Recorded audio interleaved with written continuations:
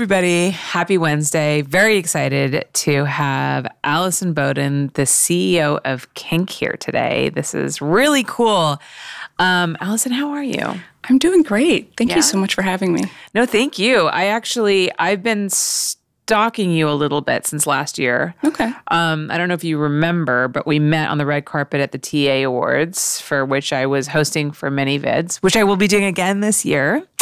So I'm very excited that they asked me to come back. That's awesome. I'm going to try to do a better job this time. I thought you did a great job. Thank you. It's red carpet is is tricky, and you know what it is for me. Honestly, um, I'm not as familiar with the transgender porn community as I am with the mainstream, just because I work in the mainstream one, and so there were so many people I didn't know, Yeah. and so I didn't know what questions to ask them, but. Thankfully, this podcast has really encouraged me to seek out different people Oh, that's great. um, to interview. So I've, you know, had Natalie Mars and Daisy Taylor and Aubrey Kate, um, Buck Angel, who I love. Um, and so, like, I feel like I know more now, so I'll be better this year. So hopefully, Even better. But anyhow, so when I when I met you, I was really excited because Kink.com is a company name that comes up a lot on this podcast because we talk a lot about consent, we talk a lot about boundaries, we talk a lot about ethical porn sets, and Kink is like the shining example of of a company that really delivers on all of those things. And this is coming from the performers, you know, it's not I don't bring you guys up.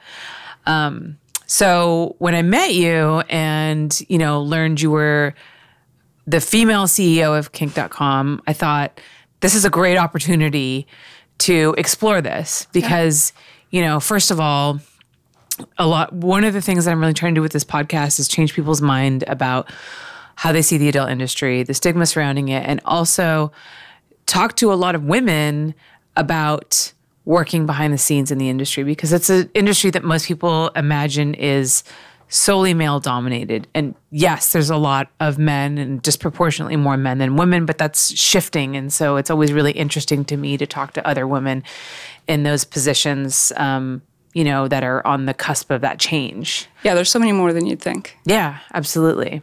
So I guess let's start from the beginning. How did you get into working for Kink? Well, um, the short story is that I'd been doing marketing and had seen an ad for Kink hiring an email marketing manager back in 2010. Mm-hmm.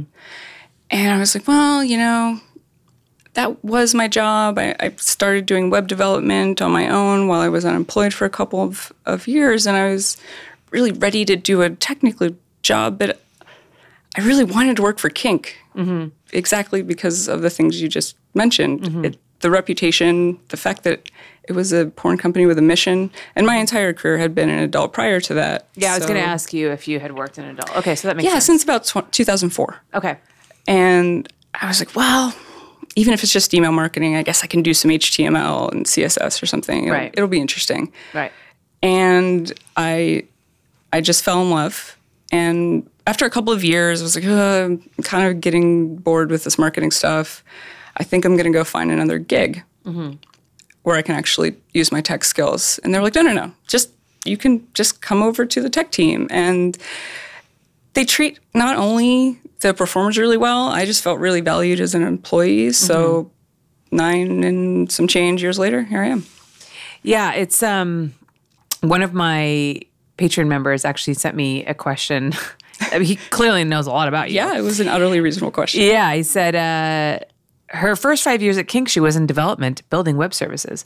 My question, which isn't meant to be sarcastic, how does a marketing professional with a degree in sociology start writing Node.js and MongoDB backend code for a major porn site? That was site? good. You did it. I don't That know what great. any of that shit means. but boy, I felt smart saying that. Yeah, totally. um, that's a super reasonable question. Um, so I, like many young women, I was really interested in technology. Even as a, a high school kid, I was building my own websites when I was fourteen. Were you using. Dreamweaver? No, it was totally by hand. Okay. We used to use everything. Dreamweaver. My sister sent me an email the other day because she wants to redo her husband's like um, uh, bar website, which by the way is the airliner downtown in Lincoln Heights. You guys should check it out. It's fucking awesome. But she asked me, she's like, how do people build websites these days? She's like, is Dreamweaver still exist? I'm like, no. It totally does, but it's really, really like complicated. Yeah, and it was complicated back then. I'm like, Squarespace? yeah, pretty. I think so. Yeah. That's usually how people do That it. was so funny. She's like, Dreamweaver? I'm like, oh my God. Yeah. No, I I uh, just kind of taught myself, Mm-hmm. but I didn't really have the confidence to like take the programming classes in, mm-hmm. in high school. They were all boys, and mm-hmm. when I was in college, I was really interested in social issues. Sociology made a lot of sense. I have a women's studies minor, and when I started my first business, I developed a website myself, but you know, it was fairly basic. And I, it's a lot easier to get marketing jobs than it is to be a self-taught coder, especially back then. This Right. was before like boot camps, and you know, you had to have a CS degree in order to write some basic front end stuff. So. Uh, somewhere around 2009. Yeah, no, it was like 2008. I got laid off from a job. I was like, you know what? I'm just gonna buckle down and take some classes and get my skills up to speed.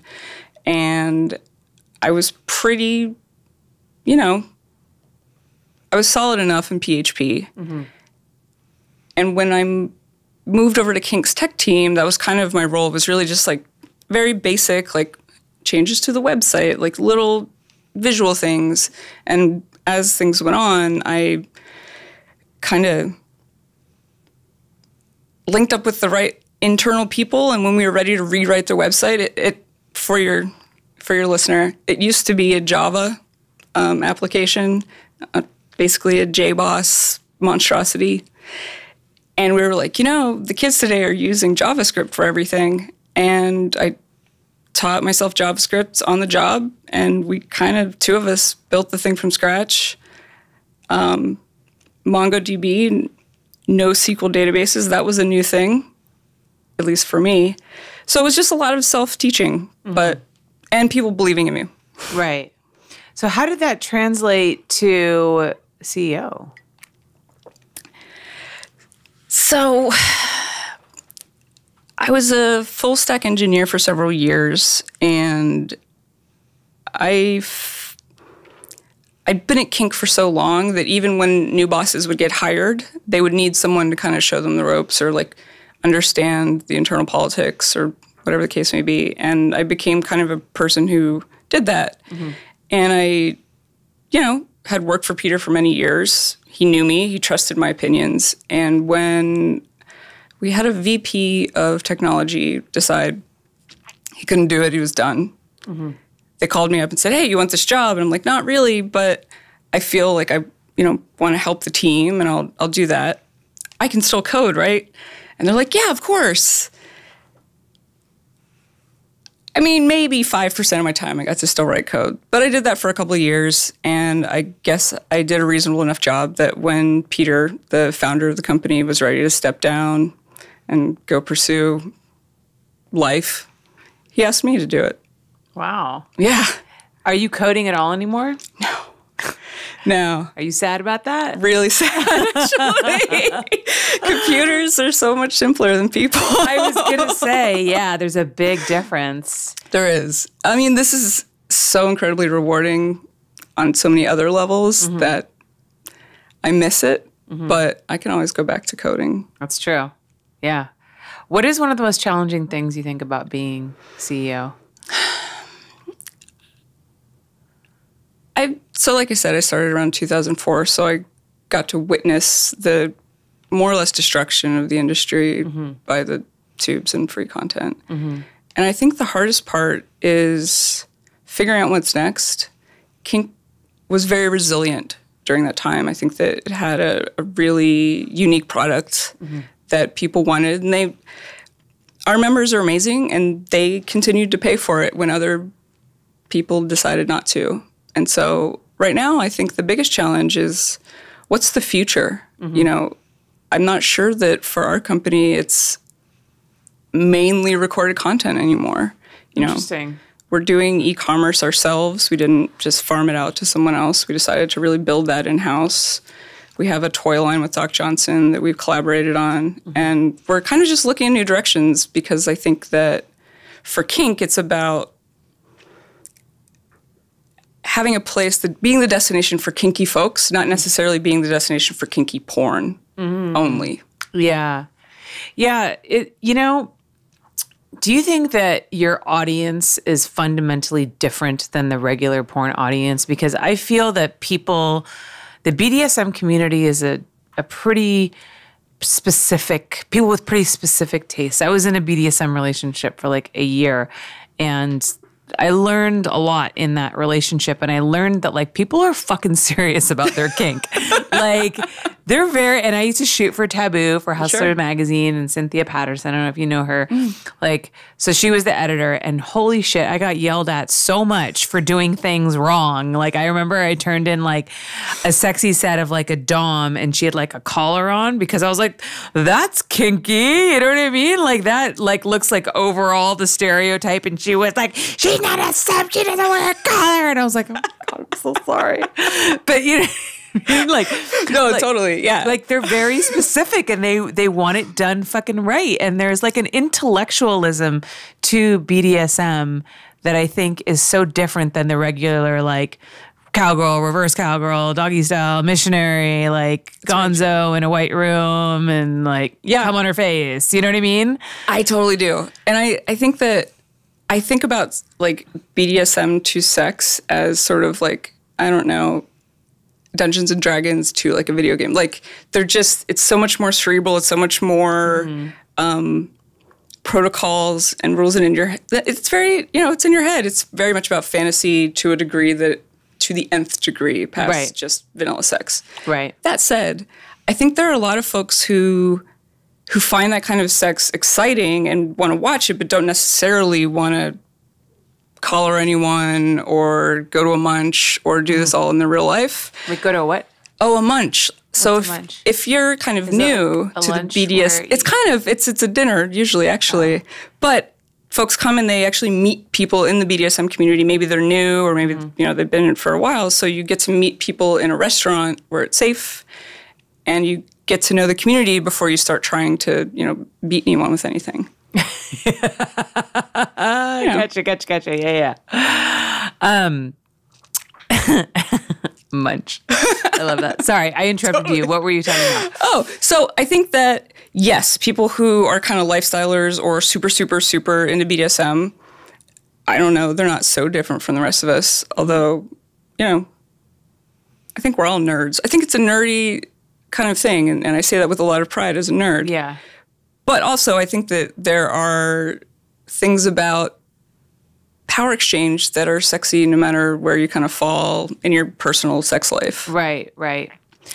I just mean, I guess what I mean is, you know, your audience is comprised of people who are looking for specific, pretty specific things. Often. Like they're not somebody who is just going to jump on Pornhub and watch whatever like big titted stepmom MILF scene is there for the day. You know what I mean? And not really care. Like they they have Yes and no. like more I don't know, more like cultured taste. I don't know why.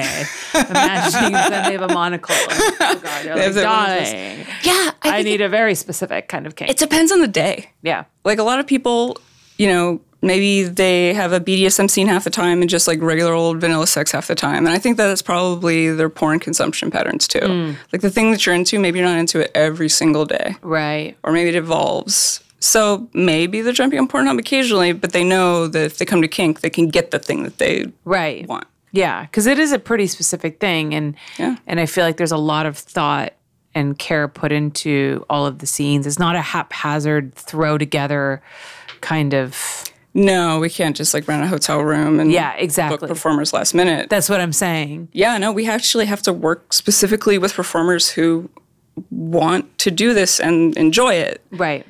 And, you know, a lot of people don't.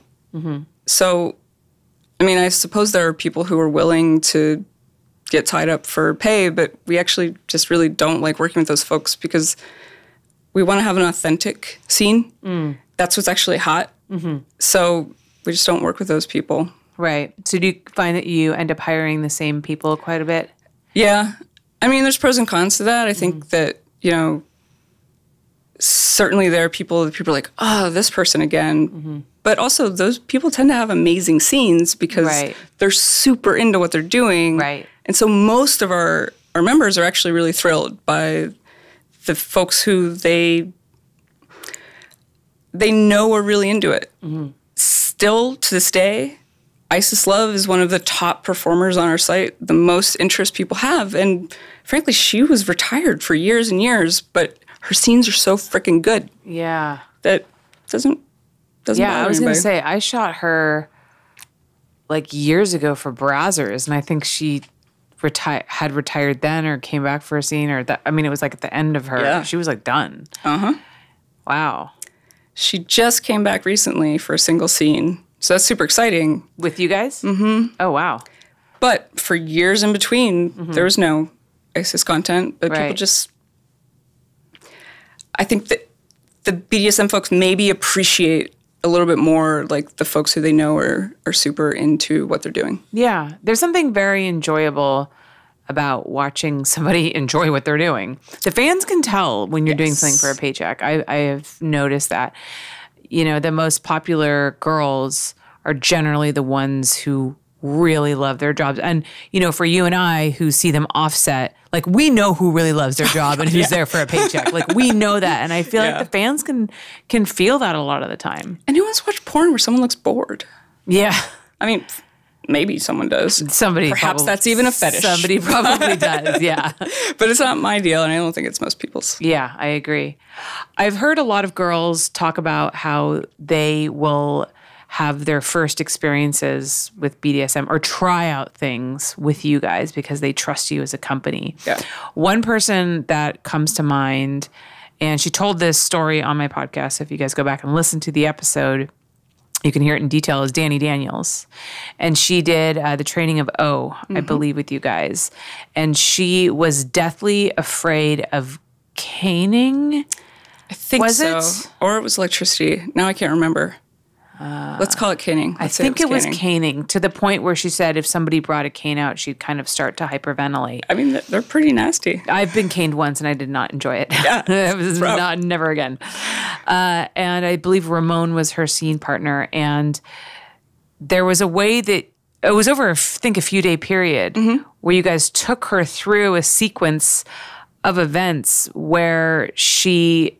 Be, it was like almost like Pavlov training, you Yeah. know. She began to associate caning with pleasure Mm-hmm. rather than the opposite, and it completely overcame her fear of caning.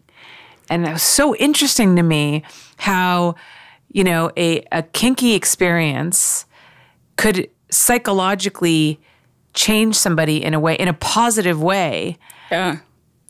It's it's not even uncommon for people to especially in people who are are in the scene mm-hmm. to use BDSM to kind of work out trauma. Yes. And I I think it's incredible. You know, I really hope that they're doing all of the work they need to do outside of mm-hmm. BDSM scenes. It's not in any way, you know, a substitute for therapy. for therapy. Yeah, yes, this is true. and it's it's just really amazing to me the healing power it can have mm-hmm. And just how hot something can become that maybe wasn't before or mm-hmm. isn't the first thing you think of when you think of sex mm-hmm. it's it's fascinating Yeah. That's one of the things I really love about working in this industry. You know, sexuality is such a powerful force. And I think it's something that we still don't really understand all that much. No I You mean, know, it's so multifaceted and different for everybody, and everyone has a different experience. And it is true that people can really work out certain traumas and and everything through sex, which is not something that most people think one would do. I think, you know, a lot of people have this misconception that sex is dirty and sex is always damaging. So the idea that it could be healing in some way, I think is a foreign concept to a lot of people. oh especially for women Yes. yeah and i think that you know think about how much we can even study sex mm-hmm. it's incredibly difficult to get a grant or any kind of funding to do any research on sexuality. Yeah, that's true. I didn't think about that, but you're right. So we're in the dark. Yeah. We're kind of all just figuring it out. Yeah. You brought up women. Um, did the Fifty Shades of Grey novel change anything? Did you notice any shifts in the kink community and BDSM with that? Because I was talking to somebody about this, and we were talking about how women have become more open about their sexuality and have become more open to watching porn and maybe admitting that they watch porn and enjoying porn and trying porn. And somebody brought up the Fifty Shades of Grey as a catalyst for that, which I had never thought about before. And and then I thought about it, I was like, yeah, actually, that could be true. Did you see anything like that? It's a really interesting phenomenon for us because Fifty Shades is, I have to say, not a good example of BDSM. Yes, every everybody in the BDSM community that's the first thing that they say. So, can you explain to those who maybe don't understand what you mean what you mean by that? I'm going to be honest, I have not read the books. My understanding, however, I have read them. okay, great. So, would you say that all of the acts that took place were consensual? There wasn't much communication. So, not negotiated, not no, right. no, it was very much a princess being or a, a, a common girl being rescued by a prince and kind of being shown a different world that she immediately accepted without question and Gotcha. you know there wasn't yeah So, as a fantasy, great, Right. cool. Um, that said, people who are into BDSM largely did not care for those books, is my understanding. Yeah. And that was part of it. But people who have made it to kink.com and who tend to be like our core members did not appreciate those novels. That said, we've always had a, f- a much higher proportion of female members than I think most websites interesting and certainly anywhere I'd worked. And we get a fair amount of couples who watch our content together. why do you think that is um, I think that understanding yourself as having a BDSM oriented sexuality kind of requires a lot of self discovery and, and knowing yourself mm. and being a lot more comfortable with sex than if you didn't have to go that far and kind of work through that much to, to get there. Mm-hmm. So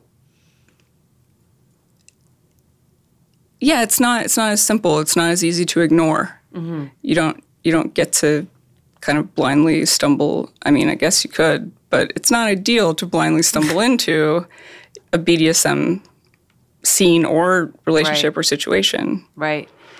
Do you think that because, well, I think that one of the sexiest things about BDSM, and I guess this exists, you know, kind of in in all sex acts, and I guess just really in everything, is power dynamics between men and women, or men and men, and women and men. Like, um, and I and I wonder if women. I know for me, I was attracted to that. I think because of the rigid power dynamics that I don't know we've been taught as women from an early age, and so the idea of exploring that, either giving into that idea of being I'm submissive as a woman, or flipping it and doing the other side was very interesting to me. Like I remember, so I remember actually my first my first inkling that I was kind of into this was when I was playing, I think like Cowboys and Indians or something with my friends. That is actually With- how Peter figured it out too. Really? like seeing like the girls tied up. Yes. yes. So it was for me. Um, and I got captured and I got tied up and I got taken to jail. And I remember being excited about that. And then they very quickly untied me and took me out of jail. And I was very upset about that. I was like, no, I need to be in jail longer. You need to put me back in there because I have, I am still going to rob you. I'm trouble. and I remember having this excited feel and not understanding it. Yeah. And then late later on starting to to get that. But that was that that first moment. That little inkling. That's Yeah. so funny. Yeah. You know, I think that it's sexy. I think for a lot of people, because it's actually very considered. Mm. So instead of kind of going along with whatever the power dynamics are in your life with whomever they're with, your boss, the person sitting next to you on the bus, your partner, mm-hmm. you are very cons- you're considering what you want the power dynamics to be, if you want them to shift, if you want to give them to give the power to someone else or take it from someone else. And I think just really thinking through and negotiating that is not a thing people do very often. Mm. And it's sort of exciting to like say, you know what, I want to be the powerful one right now. Mm-hmm. Or I am tired of this power. I just I want to serve someone. I want to do what someone else wants me to do. Yeah. And I'm very thoughtfully going into that. Yeah. I wonder if on some like deeper level it makes us kind of consider our place in the world. You know, because we are social creatures with a pecking order and a hierarchy and Oh, totally. and BDSM allows you to kind of choose where where you are in that order. You don't have to like I mean, you have to earn it in the sense that like if you want to be a dom, you need to know what you're doing. You need to know how to hit people properly, all that kind of stuff. It's important. But, you know, you don't have to like earn it through climbing some social ladder or kissing someone's ass or you know what I mean? Having Like, advantages in life. Yeah. Yeah, and I, you know, we don't often get to change our social standing or the power we have Right. in life. But even thinking about power as something that is inherent in every interaction, mm-hmm. In every relationship, is actually kind of, I don't know, it, it's really kind of shifts your perspective. And Yeah. I think a lot of women I know I've heard a lot that women feel weird about being submissive because they think that's like t- taking on a stereotypical role, Right. but it's what actually turns them on. So just having to think through that, Yeah. you know, it's it's yeah, I just I love the fact that it requires so much thought and like mm-hmm. really considering things that people just kind of ignore for the most part Yeah. day-to-day life, especially around sex. Yeah. I mean, I've definitely considered a lot why I prefer to be submissive in bed. And it has to do exactly with what you touched on earlier. Like, I am in control a lot of the times in my life. Like, I run my own business, I people work for me. I'm constantly giving people direction. I'm constantly having to make decisions. I'm, you know, having to, you know, give people tasks. Like when it comes to sex, like I don't want to do that. I'm fucking tired. Like somebody else make those decisions for me. Like please, I don't want to do that. Like there's something very freeing about being able to let go. Yeah, and just being someone that you're not, or having mm-hmm. having the fantasy or living the fantasy that you're, you know, different from the way you are. Right. Yeah. All right, we're going to take a quick commercial break and then we're going to come back. We're going to talk about uh, kink specific policies on producing ethical porn. Um, I know you do like kind of before and after interviews and what that came out of, and uh, so much more. So stick around, we'll be right back. If you're here, it's probably because you're a fan of my podcast, Holly Randall Unfiltered. Well, that's great because I'm a fan of my podcast too. Now, if you don't know what Patreon is, it's a crowdfunding platform that allows people to make contributions on a monthly basis. Because this podcast costs money to make, maybe even more so than others. I'm obsessed with quality, so since the beginning, I have always recorded in a studio, had a professional sound engineer, and recorded professional video. All of these things cost money, as you can imagine. And I also made a pretty scary decision this year to cut down on my directing gigs so that I could focus more on this podcast, which is why I need your help now more than ever. But don't worry, I'm not asking you to give me something for nothing. In exchange for your contributions, I offer so many perks. For example, access to the live streams of all of my interviews, a bonus podcast that I do called My LA Porn Life, Q&As where the stars answer your specific questions, behind the scenes interviews, merchandise such as mugs, shirts, and stickers, access to my private Snapchat, and so much more. You can join for as little as $5 a month and help me change the way the world sees the adult industry and sex work. So take a look around and see everything that I have to offer. I really hope that you'll join and be a part of our little community. So, I mentioned before that I have a lot of models on the show, and they talk about how kink has just been kink.com has been a really wonderful place for them to explore different fetishes and how they always feel so safe and so well respected there and so well treated and this is one of the things that I love to talk about because I know a lot of people that don't really understand the BDSM community, don't know a lot about porn. They see those extreme scenes on kink.com and they think, oh my gosh, these poor people are being abused. They don't want anything to do with this. Look how sad they are. I mean, I feel like there wasn't there some, I don't remember who it was. There was some woman who had some kind of big following, and she mentioned like the number three video on porn, one of the top videos on Pornhub, and it was a girl being tied down and electrocuted. And she talked about like this is what's wrong with porn, like these poor girls being, you know, violently, yeah, as though it was against her will. yeah, exactly, exactly, violently, um, you know. Attacked and and all, all these things that we know are not true. So, how do you handle like so how do you, how do you guys conduct business? Like how do you how does a typical day um, on a kink set go? So i like to remind anyone who sees a video and goes oh that's real that you know hollywood movies aren't real. Yeah. And you can do a lot of things that maybe look really scary but you know and maybe they, maybe they hurt maybe they don't but you don't get to see behind the scenes in, in most hollywood movies unlike kink Mm-hmm. So on a kink set, prior to being booked, a performer is going to fully understand exactly what they're expected to do, or they're going to be asked whether it is okay to do the things that we want to do. And that's everything from is the scene partner okay? Do you want to perform, you know, whatever the particular fetish of the channel is. So, are you fine with doing a pegging scene? Are you okay with, you know, cropping someone? How are you, you know? And we try to make it very clear, even the themes. So, mm. I don't want anyone to show up on a scene and go, wait, I'm not cool with this faux cest theme. Mm. I, that's not okay with me. I never agreed to that. And then be surprised because that's, well, I just think unethical.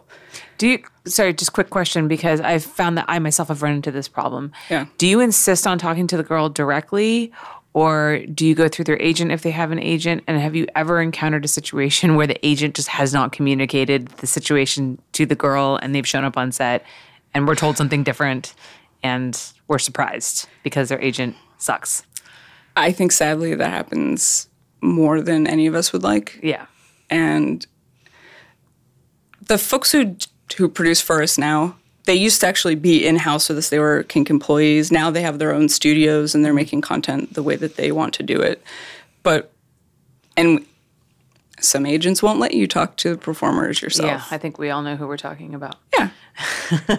and so if you want to work with those folks, you do your best and you hope that the agent's passing along all of that information. Mm-hmm. But let's say that happens. Someone shows up and they're like, I don't want to ever do that. Mm-hmm. Okay, is there something in this wheelhouse that we can do that actually you would enjoy, or should we just kill it?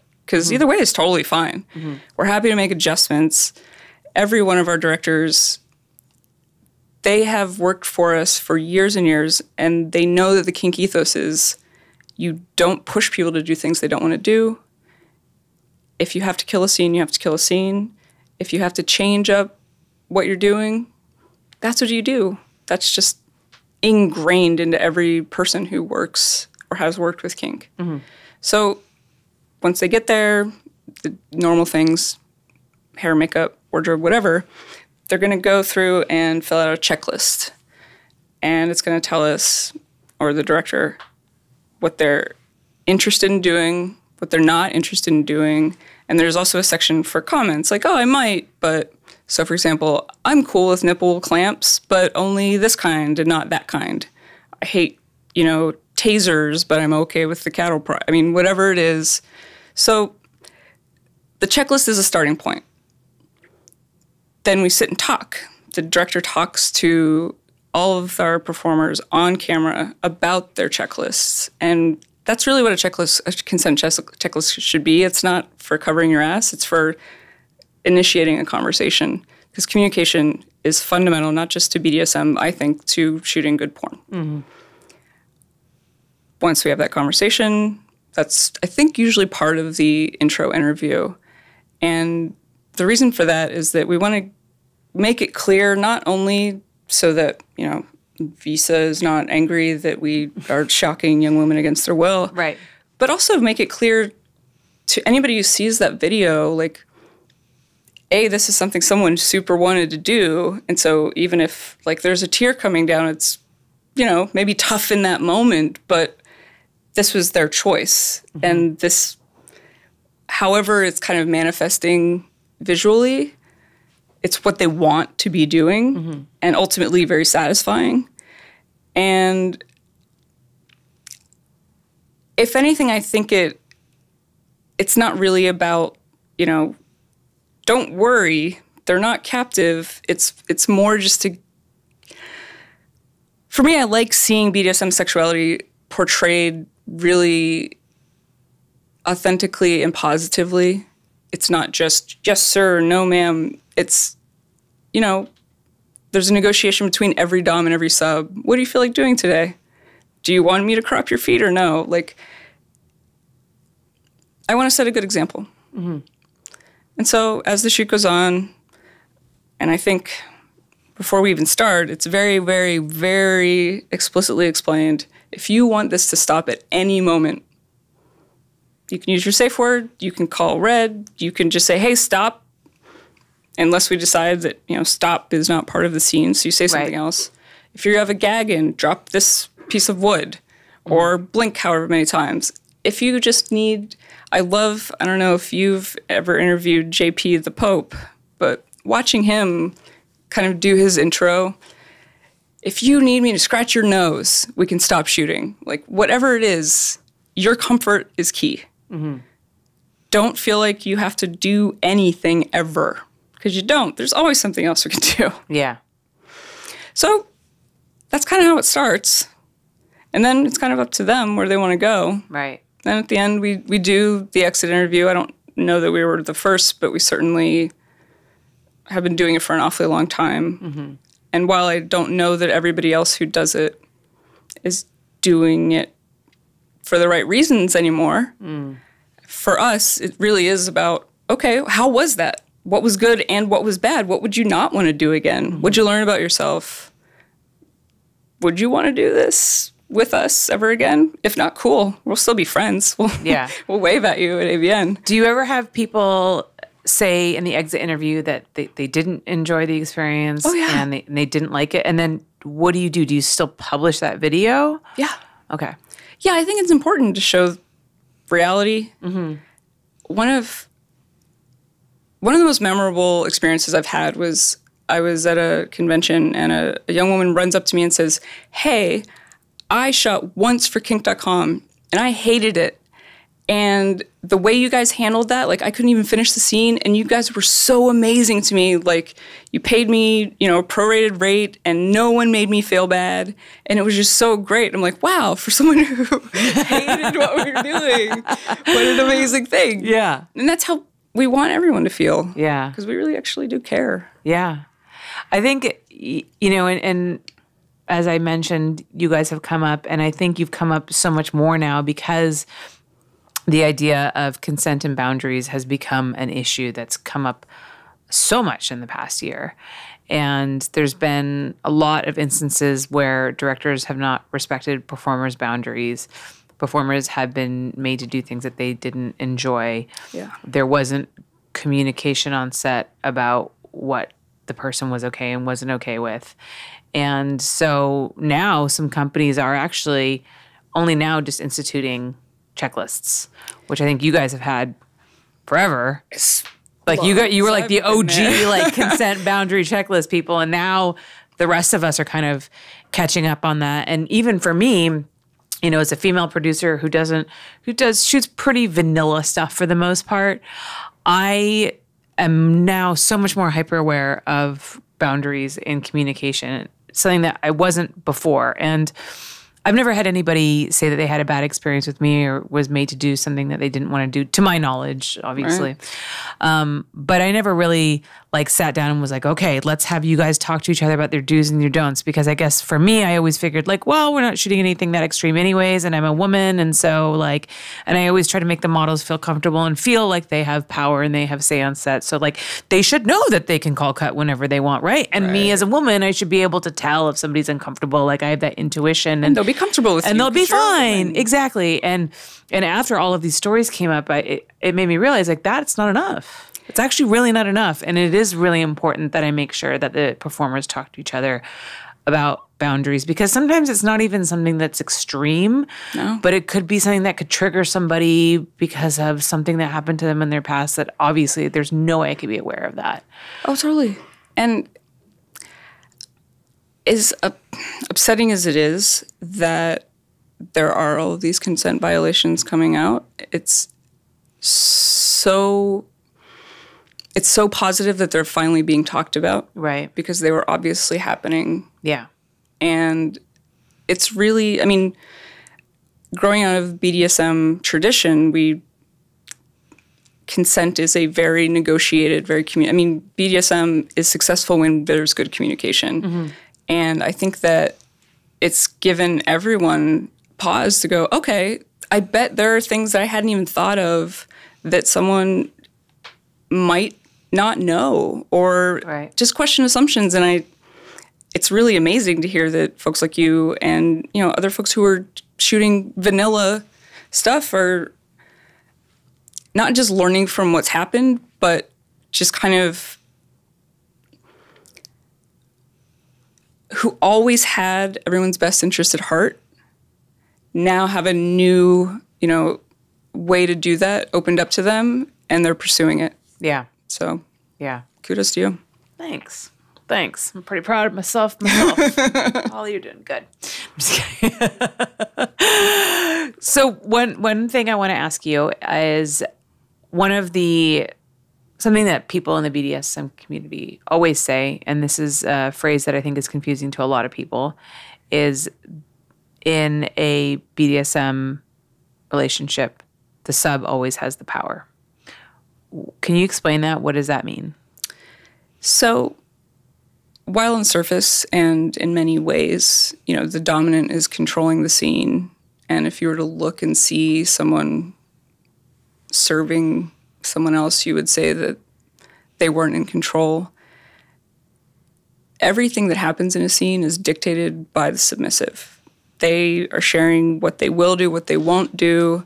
And maybe that's a, a giant menu of things. Mm. But ultimately, if a sub really doesn't want to do something, that's not going to happen mm-hmm. in a consensual negotiation. So when we outline ahead of time and communicate about where our boundaries are, then we can stay within them and the dom can can work within that entire, you know, realm without doing anything the sub actually isn't comfortable with and doesn't Right. consent to. Right. And then the sub doesn't have to, in the middle of the exchange, be like, ah, I don't like that, Yeah. you know, because it's been talked about beforehand. And then you can be in a, a safe place to freely explore whatever kinks you are, knowing that, like, and they can always within pull the ripcord. Yeah. You can always use a safe word. And that is, you know, everybody should have a safe word, whether you're a Dom or a sub Mm-hmm. or something else. But they're respected. That is inviolable. Always. So, what is the importance of having a safe word versus just saying stop? You know, it might be sexy to have a scene where you say, no, no, stop, don't do it. Mm-hmm. And the person keeps going. And if you say ahead of time, this is what I want, don't listen when I say stop, listen when I say pineapple Mm-hmm. or red. Because those are not words that would normally come up during usually. a sex scene. like, oh, rub me with your pineapple. That's when that pineapple in my mouth. Not very commonly. right. And so it'll, it lets you and it kind of that takes you- fantasy. yeah, and then also, I guess that word is so such a contrast to the other words that are being said in the exchange that it just it. pulls you out of it. Yeah, exactly. And and you're right, pulls you out of it. Yeah. Yeah, because pineapple is like couple, few syllables. Yeah, you really have to want to say pineapple. Y- yeah, it's not a word that just rolls off the tongue naturally. No, no. But I mean, saying no or keep to continue going when someone says no, that's a very valid and sexy fantasy. Right, So pick a different word. right, right. What has some of your most popular kinds of scenes on kink.com? The kids love the faux cest, man. I We can't get away from that. Even on kink.com. God, I thought you guys like, oh I yeah. you were free of the faux cest. You know, one of our best and and most popular uh, channels is Families Tied. Ah, that's clever. Yeah, it's pretty See good. what you did there. It's pretty good. Um, which which is, I mean, super sexy and super hot. You know, the most popular content tends to be a male dom with a female sub, mm-hmm. whether it's you know sex and submission, which is you know boy girl P and B, mm-hmm.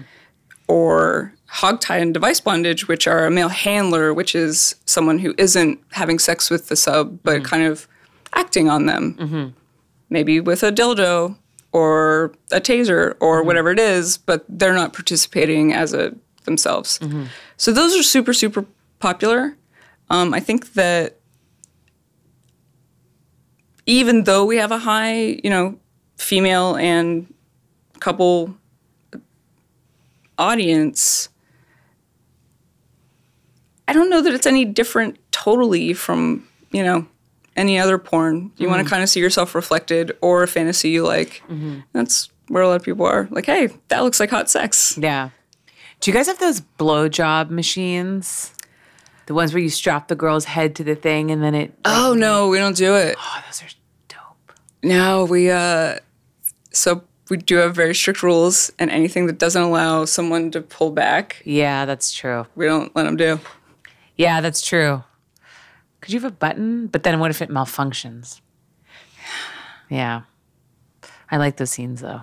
Yeah, I know. The first time I saw that, I was like, oh, that's fucking we need to figure out a way to like fake it basically. Yeah. Yeah. like, oh, you're now subject to this machine. yeah.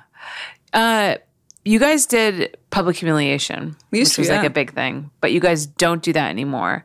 Now, I, correct me if I'm wrong. It was a, a scene where um, there would be like actual performers having sex, and then other people would be invited to watch Mm-hmm. and engage in some non-sexual way. Is that is that correct? Sometimes, um, well, so the public, of course, was never allowed to do anything sexual necessarily, at least that could cause STIs. Yeah. So you nothing that you had to be tested for. Right.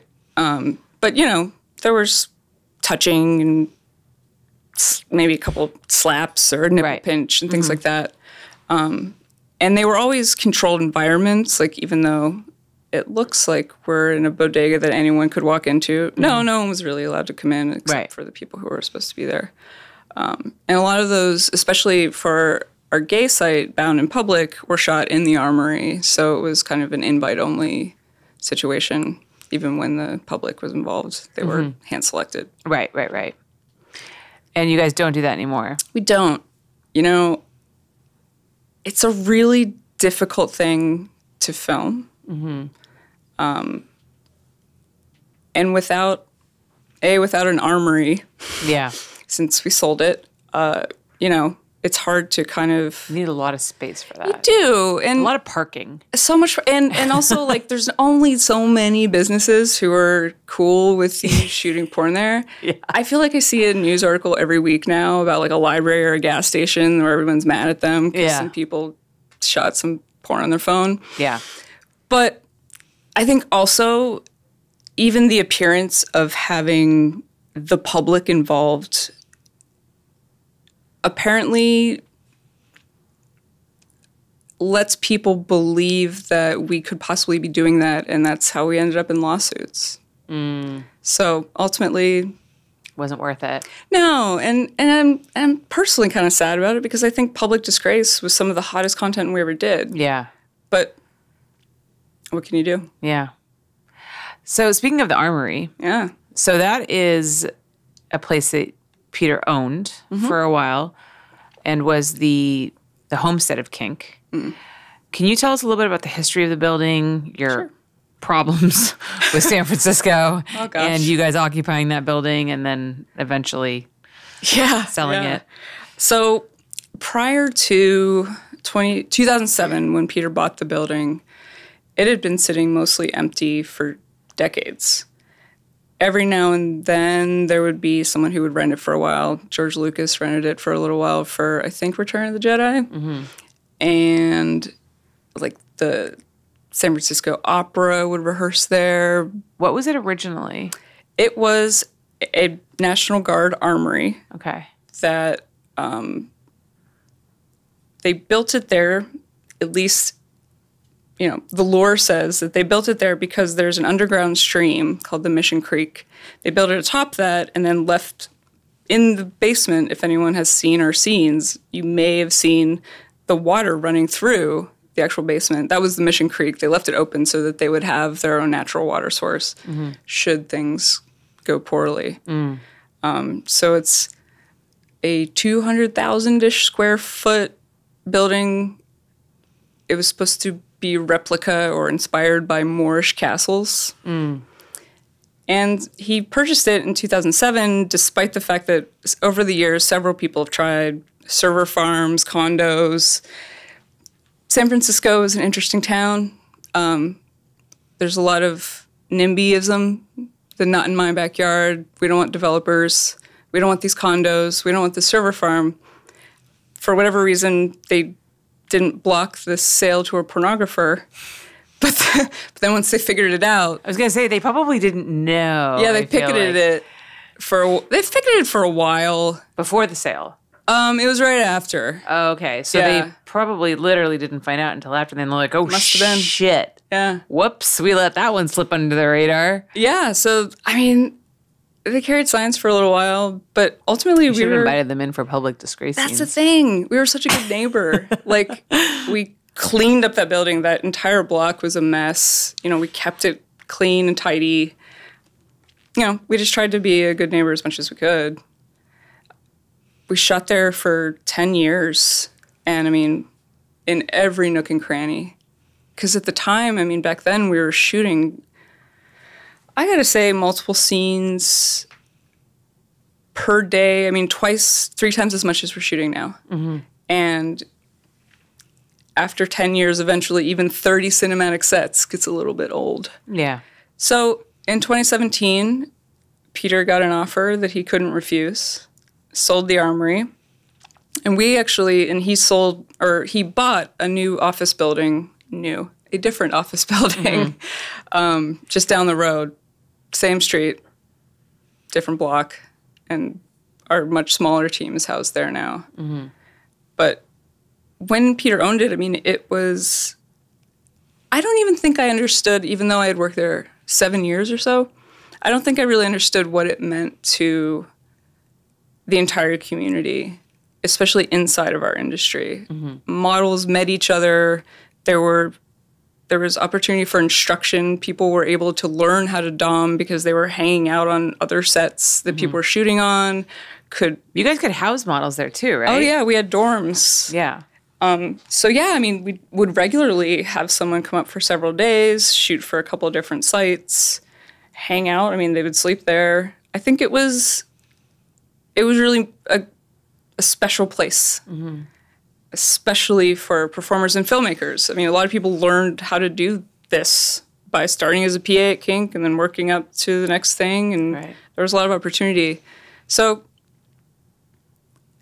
that era is gone. It's over but it was really special. Yeah. Yeah. I mean, that place is iconic. And the fact that you guys occupied such a huge space for such a long time is incredible. I mean, fuck, dude, I tried to have a studio that lasted like two years. It's hard. And it was 3,000 square feet. Oh yeah. You know? And this building was really just trying to crumble mm-hmm. like the entire time. It was such a money pit. Like I bet. placing entire turrets, Yeah. you know, just the constant construction it became a pain. Yeah. Who bought it? I believe a real estate investment company out of somewhere in the Midwest or South or something. And is it it is still empty. They painted it white, knocked down all the walls and the sets, and they've been unable to rent it out. Does that kind of break your heart a little bit? Oh yeah, yeah. It's hard to see, especially we still have the bar across the street, the Armory Club. So go down and look over. It's a little nostalgic. Mm. Yeah. Wow. So you um, are here because you are actually going to be attending some uh, board meetings for FSC and Pineapple Support, uh, two organizations that you are a part of. Yeah. We've talked about this before on this podcast, but just for those of who may be listening for the first time, can you explain what the FSC is and what Pineapple Support is? Oh, sure. Maybe what you do on the board? Yeah, so FSC is for, for Free Speech Coalition, and it's essentially the trade organization of the adult industry. Um, it has largely been there when we've had to fight battles, essentially, against mostly the government. Um, and it, when we're not fighting the government, we're really just trying to make the industry a better place and help support the businesses that are in it however we can. Pineapple Support offers free, entirely free, counseling to anyone in the adult industry, but is specifically meant for performers. And basically grew out of the suicides in 2017. And someone finally said, we need to do something and did it. And that was Leya Tanit. So both organizations. I'm a member of the board. Um, I don't, uh, let's call it a dozen board members on each. So, as part of that group, it's a lot of um, kind of trying to set the high level, you know, strategy and fundraise, get more people involved, get the word out. I think it's really important to give back to the adult industry. You know, it's a bit of a rogue magnet. yeah, it is. And everybody's very much kind of like on their own little planet with their own little independent content creations thing going on. And they don't really think about it's hard for us to see ourselves as a collective group sometimes, oh, yeah. you know? Even when we're all kind of joining together to fight something, it's a bit of Yeah. cat herding. yeah. And, you know, it's an industry that attracts people who are comfortable and prefer not to do the mainstream, I don't know, accepted stuff. They don't need societal approval. And generally speaking, those people don't necessarily want anybody else's approval or want to work Right. together. Right, right, right. So, um, I really, I personally have devoted my entire adult life to the adult business, and I feel like what Free Speech Coalition is doing, from continuing to fight the two two five seven lawsuit, to things that you know in recent past, Prop sixty, and things that are happening now. I was going to say we have a new bill. we do. Yay! Lucky us. Yay! Do you want to talk a little bit about the new bill? Well, we are certainly trying to help businesses through AB5, but of course, as we've heard recently, one of the, or I guess she was the sponsor of AB5, co sponsored a new bill. What is it? AB 23. A bunch of numbers. 50 something. A, AB, a bunch of numbers. Uh, hopefully, AB goes away. But essentially, um, it appears that the parent union of the Adult Performers Actors Guild, without APAG's knowledge or approval, sent a bill to.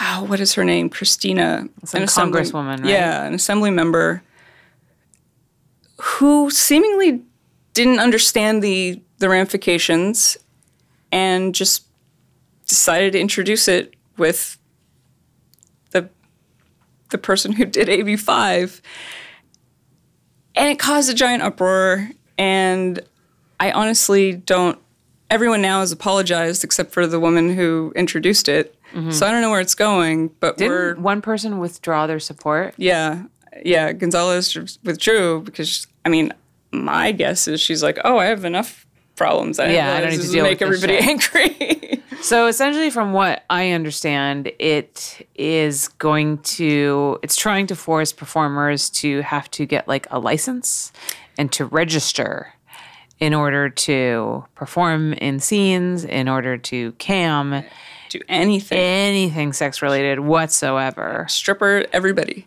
Yeah. And I think the things that are most disturbing are that it involves live scanning. So they take their fingerprints and store them in a database. So now we have a database of everybody who, yeah, does sex work. I don't trust the government with that. No, I mean, it's especially terrifying after it's been revealed that Airbnb is using this new technology to recognize sex workers and ban them from their mm-hmm. platforms.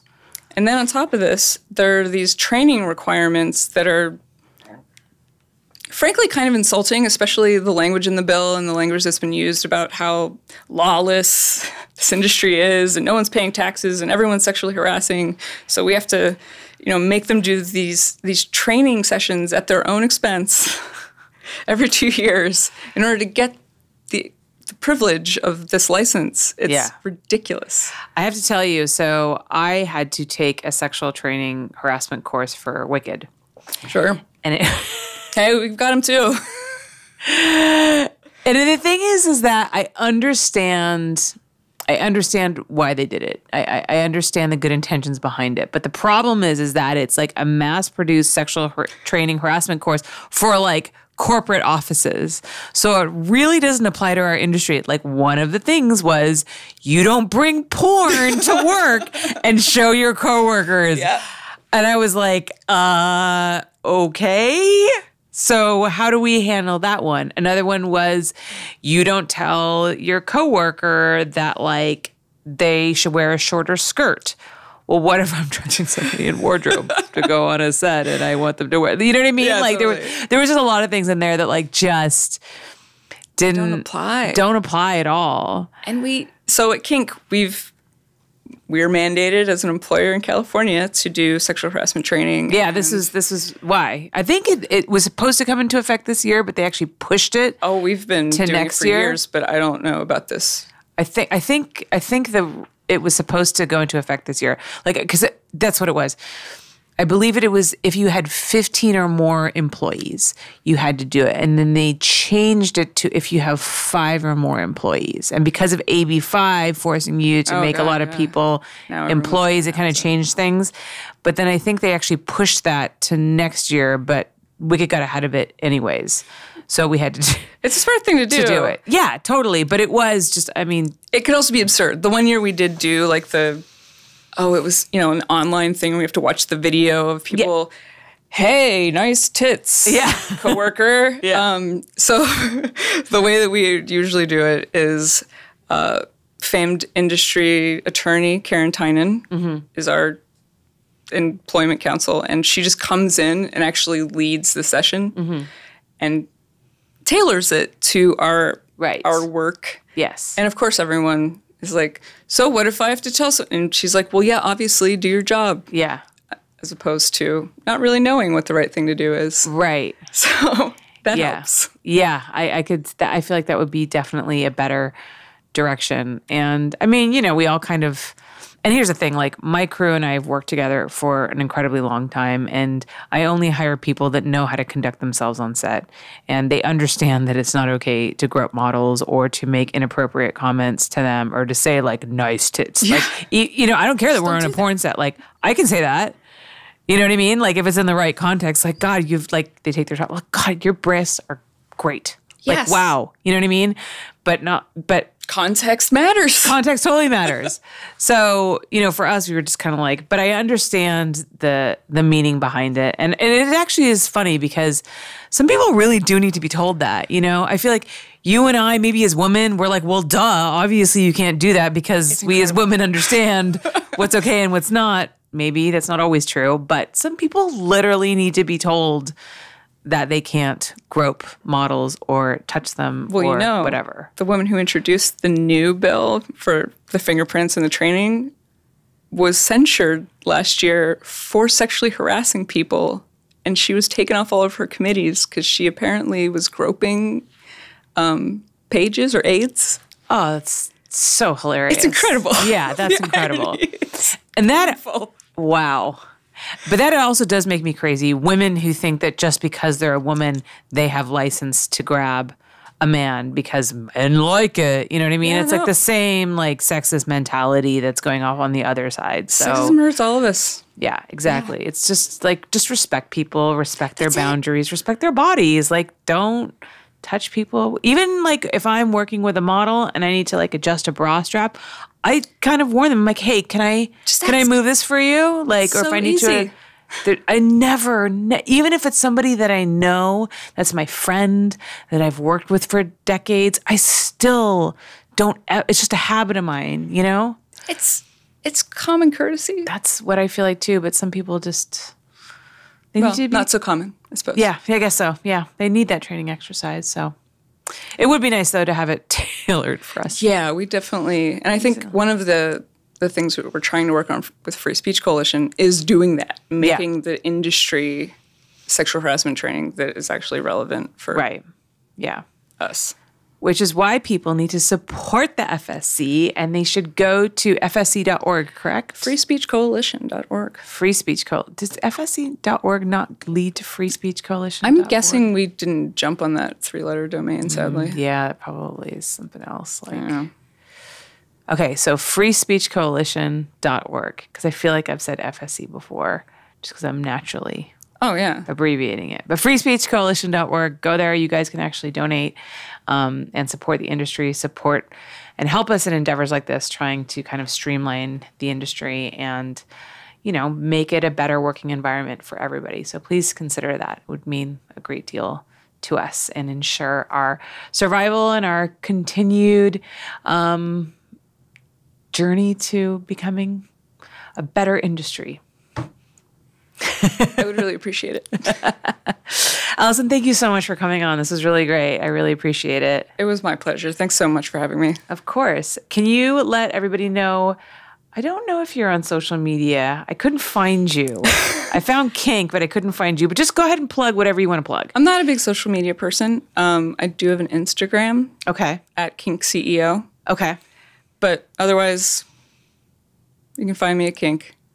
At Kink on Twitter is just Kinks overall. Is it or I kink.com? to say it's kink.com. I think it's kink.com. We've had so many. yeah. We've been banned on every platform multiple Oh, I'm sure. times. That reminds me, the other thing that you wanted to talk about, because speaking of being, ban- shadow banned banned. and banned on public platforms, this new ticketing um, platform for adult Coming events. this summer, yeah, we're launching tixty.com, T I X T Y. Mm-hmm. And the idea is to make an Eventbrite for us. You know, we've ourselves had our workshops banned, shadow banned, hidden, delisted from platforms like Eventbrite.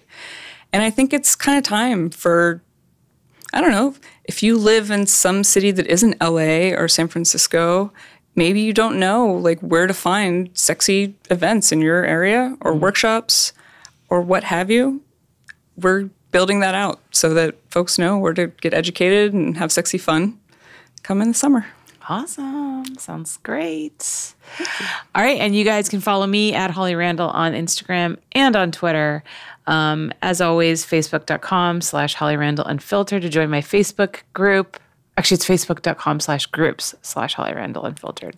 I also have facebook.com slash Holly Randall Unfiltered, but that's just my general page, which I will admit I don't update nearly as much as my group. My group is like 700 members in it, and we all talk about things and relevant adult stuff, and it's uh, it's actually really fun.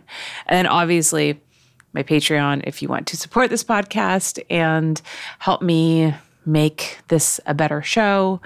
Um, Patreon.com slash Holly Randall Unfiltered. You guys are awesome. Thank you so much. See you next week.